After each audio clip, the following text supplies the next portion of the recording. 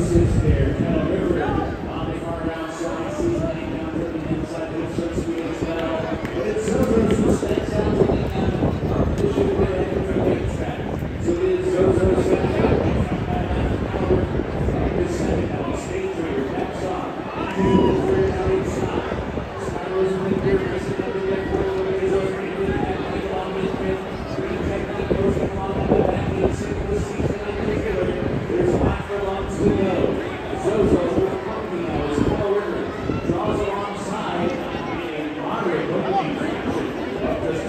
23 and 3.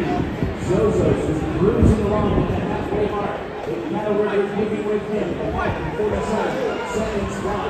Stage Raider tucked away to the inside, racing right there third. Organization lead team on the outside spiral. Doing that. Three check Still flying.